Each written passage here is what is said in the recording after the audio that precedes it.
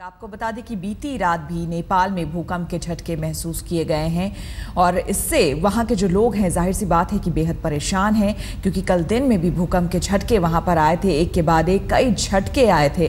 लेकिन इस बीच आपको एक खबर बता दें, फरीदाबाद की खबर है। फरीदाबाद में चलती कार में आग लगने से कार में फंसकर एक युवक की मौत हो गई। सूरजकुंड पाली रोड पर यह हादसा हुआ है। आग इतनी ज़बरदस्त थी कि कार सवार को निकलने का मौका ही नहीं मिला और बॉडी जलकर कंकाल में तब्दील हो गई।